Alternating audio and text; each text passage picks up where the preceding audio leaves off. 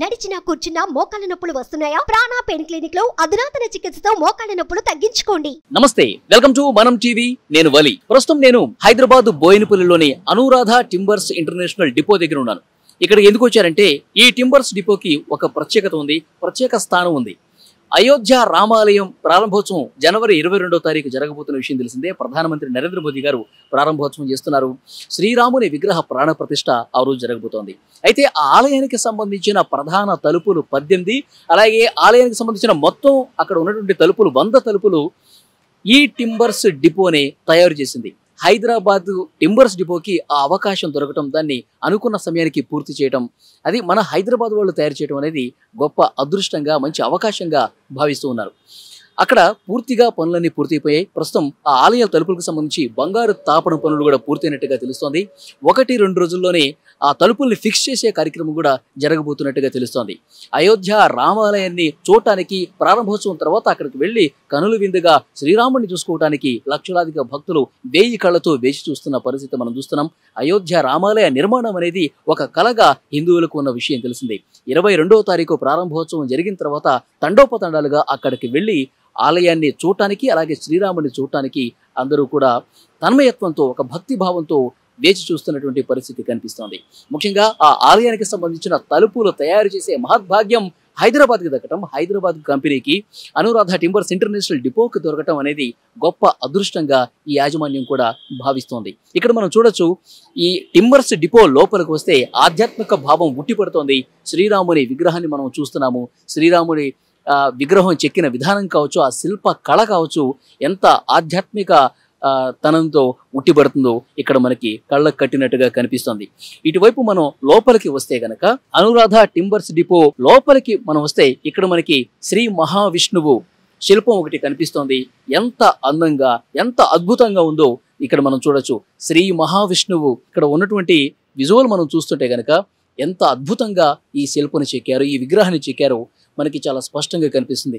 అలాగే చిన్న పెద్ద దేవతామూర్తుల విగ్రహాలు కూడా ఎంత అందంగా ఉన్నాయో మనకు కనిపిస్తోంది. ఇక్కడ మేము వచ్చినప్పుడు కొంతమంది భక్తులు కూడా అంటే హైదరాబాద్లో ఈ ఈ టింబర్స్ డిపో వాళ్ళే అయోధ్య రామాలయానికి తలుపులు చేశారన్నటువంటి విషయాన్ని మీడియాలో చూసిన కొంతమంది హైదరాబాద్ బస్సులు భక్తులందరూ ముఖ్యంగా శ్రీరాముని భక్తులు ఇక్కడికి వస్తున్నారు. టింబర్స్ డిపో లోపలికి వచ్చి ఇక్కడ ఉన్నటువంటి పరిస్థితిని పూర్తిగా గమనిస్తున్నారు. ఇక్కడ శిల్పకళా నైపుణ్యాన్ని చూసి ఆధ్యాత్మిక చింతనతో పరవశం పొందుతున్న పరిస్థితి మనం చూస్తున్నాం. ఒకసారి ఈ శిల్పానికి సంబంధించి వివరాలు మీకు చెప్పే ప్రయత్నం చేస్తాను. ఇరవై ఒక్క అడుగుల పొడవు ఎనిమిదిన్నర అడుగుల ఎత్తు ఇరవై అడుగుల కైవారం కలిగిన టేకు దుంగ. దాని వయసు సుమారు వెయ్యి నుంచి పదిహేను వందల సంవత్సరాలు ఉంటుందంటండి. అంటే ఈ టేకు ఈ శిల్పాన్ని తయారు చేసింది ఏదైతే కలప ఉందో టేకు ఉందో పదిహేను వందల సంవత్సరాల నాటిదంట. ఈ దారు శిల్పం పేరు శ్రీ అనంతశేషనైన శ్రీ మహావిష్ణుమూర్తి దీనిని శ్రీమద్ భగవద్గీత పదకొండవ అధ్యాయం ఆరవ శ్లోకాన్ని స్ఫూర్తిగా తీసుకుని రాయన గిరిధర గౌడిచే చిత్ర ప్రణాళిక ప్రకారం ఈ శిల్పాన్ని పూర్తి చేస్తున్నట్టుగా మనకి సమాచారం వస్తోంది. ఇందులో మనకి చిన్న చిన్న విగ్రహాలు కూడా కనిపిస్తున్నాయి చూడండి. శ్రీ మహావిష్ణువు అటు పక్కన కింద కావచ్చు ఇటు పక్కన కావచ్చు చిన్న విగ్రహం కావచ్చు తర్వాత పెద్ద విగ్రహం కావచ్చు చిన్న చిన్న విగ్రహాలు అటు దేవతామూర్తుల విగ్రహాలు అటువైపు మనం చూస్తున్నాము. మొత్తం ఎనభై నాలుగు పొందుపరిచారండి. దీన్ని బట్టే మనకు అర్థమవుతుంది అనురాధ టింబర్స్లో ఉన్నటువంటి కళాకారుడు ఎంత గొప్ప కళాకారుడు ఎంత శిల్ప నైపుణ్యం ఉన్న కళాకారుడు అనేది మనకి ఈ శిల్పాన్ని చూస్తుంటే అర్థమవుతుంది. మహావిష్ణువు చెప్పినటువంటి వాక్కును ఆధారంగా ఈ శిల్పం చెక్కబడినట్టుగా తెలుస్తోంది. శ్రీ మహావిష్ణువు అనంతశయన మూర్తిగా శిరస్సు ఎడంవైపు కనిపిస్తోంది. ఆ తర్వాత పాదాలు కుడివైపుకు ఉండేట్టు చెక్కారు. అనంతశేషుని దివ్యమంగళమైన పడగల కింద కిరీటాన్ని ఏ విధంగా ధరించి ఉందో మనకి స్పష్టంగా కనిపిస్తోంది. దివ్య ఆభరణములతో శ్రీ మహావిష్ణువు మరియు శ్రీదేవి భూదేవి సమేతంగా ఈ శిల్పం చెక్కబడినట్టుగా మనకి కనిపిస్తోంది. ఆ పక్క వాసుకి భగవంతునికి వినమ్రతతో నమస్కరిస్తూ విప్పారిన రెక్కలతో పక్షిరాజు గరంపంతుడు కూడా మనకి శిల్పంలో కనిపిస్తున్నాడు. నారద మహర్షి తుంబురుడు సప్త ఋషులు విష్ణు భక్తులైన సనక సునందనాథులు కూడా మనకి కనిపిస్తున్నారు ఈ శిల్పంలో. సకల దేవతామూర్తులు ఉపస్థితమై ఉన్నట్లు ఈ శిల్పం ఎంత చక్కగా పొందుపరచబడిందో ఎంత చక్కగా చెక్కబడిందో ఆధ్యాత్మిక పరిమళాలు వెదజల్లే విధంగా ఎంత అద్భుతంగా దీన్ని చెక్కారో శిల్పులు మనకి చాలా కళ్ళకు కట్టినట్టుగా స్పష్టంగా కనిపిస్తోంది. కాబట్టి ఈ ఒక్క శిల్పాన్ని చూస్తే అర్థమవుతుందండి. అనురాధ టింబర్స్ హైదరాబాద్కు చెందినటువంటి కంపెనీ మన టింబర్స్ డిపో మన హైదరాబాద్ టింబర్స్ డిపోలో ఉన్నటువంటి శిల్పులు ఎంత గొప్పగా శిల్పాలు తయారు చేస్తారనేది అర్థమవుతుంది. అంటే యాదాద్రి లక్ష్మీ నారసింహుడికి సంబంధించినటువంటి ఆలయంలో అక్కడ తలుపులు కూడా వీరే తయారు చేశారంట. అంటే వీళ్ళ పనితనం వీళ్ళ గొప్పతనం అంటే ఏదైనా పని అప్పగిస్తే వంద శాతం న్యాయం చేసేటువంటి తత్వం ఉంది కాబట్టి అయోధ్య రామాలయానికి సంబంధించి ప్రధాన తలుపులు తయారు చేసే బాధ్యత దీనికి దక్కిందనమాట. సో అంటే ఊరికే ఎవరు కూడా ఏ బాధ్యత అప్పగించరు. అంత పెద్ద గొప్ప ఆలయానికి పని అప్పగించారంటే గనక వీళ్ళ ప్రత్యేకత ఏంటో వీళ్ళ నైపుణ్యం ఏంటో అర్థమవుతుంది. సో ఒకసారి మనం లోపలికి వెళ్దాం. లోపలికి వెళ్ళిన తర్వాత ఈ అనురాధ టింబర్స్ ఇంటర్నేషనల్ డిపోకు సంబంధించిన యజమాని ఉన్నారు చదలవాడ శరత్ బాబు గారు. వారితో మాట్లాడి మరిన్ని విశేషాలు తెలుసుకుందాం. పదండి. ప్రస్తుతం అందుబాటు ఉన్నారు అనురాధ టింబర్స్ ఇంటర్నేషనల్ డిపోకి సంబంధించినటువంటి అధిపతి చదలవాడ శరత్ బాబు గారు. వారితో మాట్లాడదాం. శరత్ బాబు గారు నమస్తే సార్. నమస్కారం. శరత్ బాబు గారు అయోధ్య రామ మందిరానికి సంబంధించి ప్రధాన తలుపులు ఆ పనులు మీకే అప్పగించింది ప్రభుత్వం. మీరే పూర్తి చేశారు. ప్రస్తుతం ఏ దశలో ఉన్నాయి? ఇవాళ నుంచి మేము ఈరోజు సాయంత్రం నుంచి గర్భగుడి తలుపులు మిగిలిన ద్వారాలన్నీ కూడా పర్మనెంట్గా గుడి లోపల ఫిక్స్ చేసే కార్యక్రమం మొదలు పెడుతున్నాము. ఒకసారి అవి ఫిక్స్ అయ్యాక ఇక పర్మనెంట్గా గుడి లోపల ఉండిపోతాయి బంగారు తాపలతో సహా ఈ రోజు నుంచి ఫిక్స్ చేసేస్తున్నాం. తాపడం పూర్తిగా అయిపోయింది సార్? అయిపోయిందండి.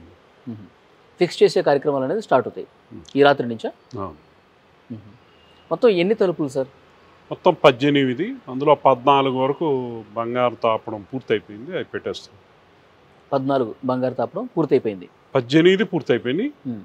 అన్నీ కూడా బిగిస్తున్నాం. ఫైనల్గా ఏ వాటి స్థానాల్లో అవి మేము ఫిట్ చేస్తున్నాం. అంటే మొత్తం మందిరానికి మొత్తం సంబంధించి ఎన్ని తలుపులు సార్? మెయిన్ గుడికి పద్దెనిమిది డో- తలుపులు. ఓకే. చుట్టుపక్కల ఇంకొక వంద దారు నూట ఇరవై ఆరు దర్వాజాలు పూర్తయినాయి. ఇంకొక తొమ్మిది దర్వాజాలు ఈ మూడు నాలుగు రోజుల్లో మేము పూర్తి చేసే పని మీద బిజీగా ఉన్నాము. ఓకే. అది కాక ఫిక్సింగ్ చేసే పని మీద కూడా జరుగుతుంది పని. సార్ ఈ ఫిక్స్ చేయడానికి ఎంత సమయం పట్టే అవకాశం ఉంది సార్? ఒకసారి ఆల్రెడీ బిగిచ్చేసామండి. ఆ పొజిషన్లోకి తీసుకెళ్ళి పర్మనెంట్గా సెట్ చేసేయటం. అది ఒక్కొక్క తలుపుకి ఒక్కొక్క పూట పట్టొచ్చు. మ్యాక్సిమం ఒక నాలుగు రోజుల లోపల అన్ని తలుపులు బిగిచ్చేద్దాం అనేది మా టార్గెట్. సార్ ఈ తలుపులు చేయడానికి మీకు అవకాశం వచ్చినప్పుడు అంటే ఎలాంటి సంభాషణ జరిగింది? డిజైన్స్కి సంబంధించి మీరు ఏమైనా సూచనలు ఇచ్చారా? లేకపోతే మొత్తం వాళ్ళే ఈ విధంగా ఉండాలని చెప్పారా? సూచనలు చేశామండి. కొన్ని కరెక్షన్స్ అవి మేము చెప్పిన అందరూ యాక్సెప్ట్ చేశారు. ఓకే. ఆ చేసిన కరెక్షన్ ప్రకారం మళ్ళీ డిజైన్ అప్రూవల్ వచ్చాక మేము చేసాం. సార్ ఒక్కొక్క తలుపు చేయటానికి ఎంత సమయం పట్టింది సార్? స్పెసిఫిక్గా తలుపు వైజ్ చెప్పలేను కానీ. ఇది యాక్చువల్గా మొత్తం సంవత్సరం రోజులు పట్టే కార్యక్రమాన్ని మ్మ్. మేము మూడు నెలల్లో పూర్తి చేసాం కేవలం రాముల వారిని బ్లెస్సింగ్స్ ఉండబట్టే ఇంత తొందరగా పూర్తి చేయగలిగామని అనుకుంటున్నాం. సార్ ఫైనల్గా తలుపుని మీరు తయారు చేసిన తర్వాత ఈ శాంపిల్ చూస్ చూస్తారు. ఒకటి చేసిన తర్వాత వాళ్ళకి చూపించుంటారు. ట్రస్ట్కి కావచ్చు అక్కడ ఉన్నటువంటి గవర్నమెంట్కి కావచ్చు. ఎలాంటి స్పందన వచ్చింది సార్? చాలా మంచి స్పందన వచ్చిందండి. అందరూ Hmm. మెచ్చుకుంటున్నారు. నాకన్నా ఆ తలుపులు ఫోటోలు అవి చూసి మీడియాలో సాక్షాత్తు తెలంగాణ గవర్నర్ గారే. మా డిపోకి వచ్చి మమ్మల్ని సన్మానం చేశారు ఇంతకన్నా అదృష్టం ఏముంటుంది అంత భవ్యమైన గుడికి. ఈ కాలంలో నిర్మించేది యావత్ భారతదేశ హిందువుల కళలో కోరిక. అటువంటి గుడికి మేము తలుపులు చేయగలుగుతున్నామంటే. చేశామని అప్రిషియేట్ చేయడానికి వచ్చి అందరూ అప్రిషియేట్ చేస్తున్నారు. మ్మ్. సంతోషంగా ఉంది. సార్ అయోధ్య రామ మందిరానికి సంబంధించి ప్రధాన తలుపులు అంటే గర్భగుడి తలుపులు ఆ అవకాశం మీకు రావటం అనేది నిజంగా అదృష్టం.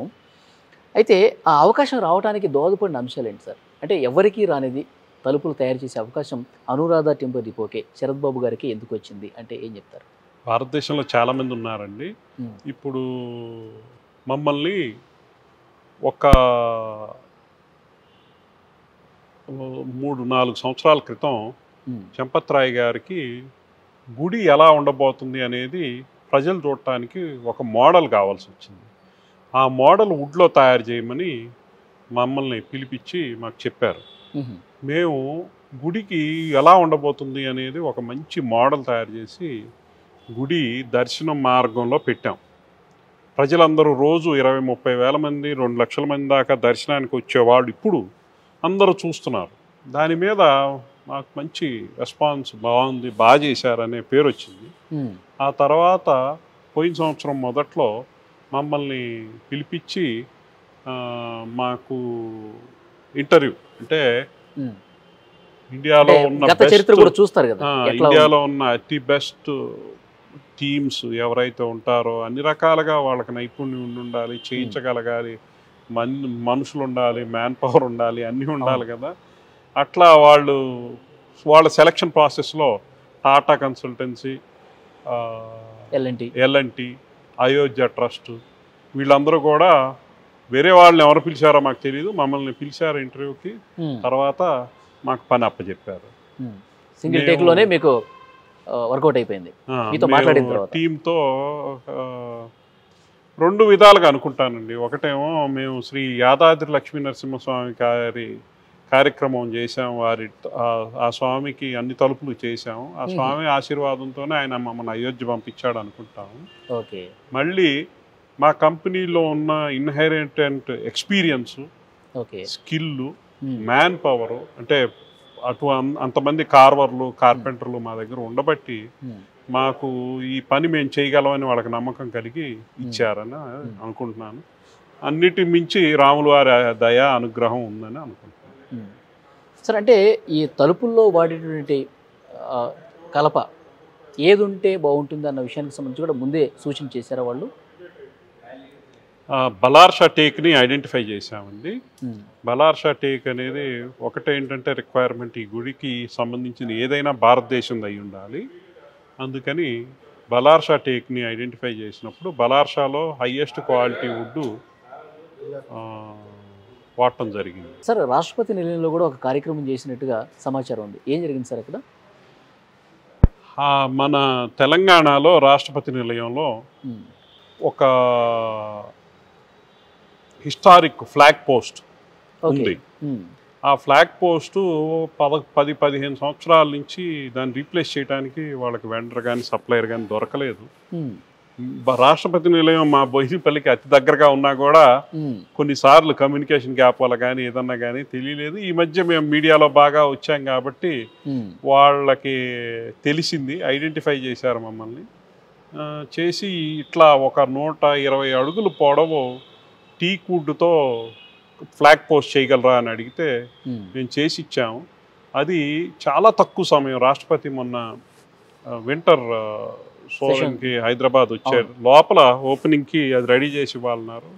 కేవలం పదిహేను రోజులు వర్కింగ్ టైంలో మేము అది పూర్తి చేసి అక్కడ ఇన్స్టాల్ ఉమ్, ఇంజనీరింగ్ ఫీట్ అని అనిపిస్తుంది మాకు ఒక్కోసారి. అంత తొందరగా వుడ్లో మేము చేయగలిగి అది ఇన్స్టాల్ చేయటం అనేది ఉమ్, అదొక. Exclusive future. అంటే రాష్ట్రపతి ముర్ము గారు మాట్లాడారా? దీనికి సంబంధించి మా? నాన్నగారిని మా తమ్ముడిని బాగా అభినందించారండి. వాళ్ళు మెచ్చుకున్నారు. రాష్ట్రపతి మేడం నేను ఇది అవుద్దని అనుకోలేదు. చాలా తొందరగా చాలా బాగా చేశారు అని మెచ్చుకున్నారు. సార్ రామ మందిరంలో అంటే ప్రాణప్రతిష్ఠ కార్యక్రమం ఇరవై రెండో తారీఖు జరగబోతోంది. దానికి ఆహ్వానం అందిందా మీకు? అందిందండి. ఆహ్వానం అందింది. మేము పార్టిసిపేట్ చేస్తున్నాం. చేస్తున్నారు. సో ఎట్లా అనిపించింది సార్ ఈ క్రతువు మొత్తం? అంటే మీకు అవకాశం రావటం. తలుపులు పూర్తి చేయటం ప్రస్తుతం బంగారు తాపడం జరుగుతోంది. ఇవాళ రేపు అయిపోయింది. బిగించే కార్యక్రమం కూడా జరుగుతోంది. సో ఇదంతా చాలా తక్కువ సమయంలో అయిపోయింది. ఇప్పుడు ఏమనిపిస్తుంది మీకు? ఇంకా చెయ్యాలి. మా మీద ఎంతో బాధ్యత పెట్టారు. ప్రజలు అంటే ప్రజలంటే మీ బోటి వారు మీడియా నుంచి కానీ గవర్నర్ గారు రావటం కానీ ఇవన్నీ చూస్తుంటే మా మీద ఇంత బాధ్యత లోడ్ ఉంది అనేది తెలుస్తుంది. ఇంకా పూర్తి చేయాల్సిన పని చాలా ఉంది. అది చాలా రెస్పాన్సిబుల్గా పూర్తి చేయాల్సిన ఇంకా డెడికేటెడ్గా చేయాలి అని తెలుస్తుంది. సో పూర్తి చేసే పనిలో ఉన్నాం ఇంకా ఇంకా మా వర్క్ పూర్తి అవ్వలేదు. సరే ఇరవై రెండో తారీఖు ప్రారంభోత్సవం ఉంది. ఏ సమయానికల్లా ఈ తలుపులు బిగించే కార్యక్రమం పూర్తవుతుందంటారు? ఇంకొక వారం లోపల పూర్తి చేయడానికి ప్రయత్నం చేస్తున్నామండి. వీలైతే ఒక రెండు మూడు రోజుల ముందే అవ్వచ్చు. ఓకే. సార్ ఇంకొక ముఖ్యమైనటువంటి విషయం. అయోధ్య రామ మందిరం చూడటానికి దేశం నలువైపుల నుంచి కూడా ప్రజలందరూ ఎంతో ఆసక్తి కనబరుస్తున్నారు. ఈ ఆలయం అనేది ఒక కళ మీకు తెలిసిన విషయమే. అలాంటి ఆలయంలో మీకు సంబంధించిన మీరు వర్క్ చేసినటువంటి తలుపులు కొన్ని సంవత్సరాల పాటు అలాగే ఉంటాయి. ఆ ఫీలింగ్ ఎలా ఉంది మీకు? మాటలు రావట్లేదు సడన్గా. ఆ ఫీలింగ్ ఫీల్ అవుతున్నాను అనమాట సార్. ఇప్పుడు ఎక్స్ప్లెయిన్ చేయటం చాలా కష్టంగా ఉందండి నాకు. ఎందుకంటే ఆ దైవమే మా చేత చేపించింది అనుకుంటున్నాను. ఎన్నో కార్యక్రమాలు మన కంట్రోల్ లేకుండా జరుగుతాయి. ఉమ్, ఇది అట్లా జరిగిందనే ఫీలింగ్ ఉంది. ఉమ్, అయితే ఏ రోజుకి ఆ రోజు మేము పూర్తి చేయాల్సిన ఒత్తిడిలో అది ఫీల్ అవ్వలేదు. పని అయినాక నిదానంగా సంతోషపడటం అనేది జరుగుతుంది.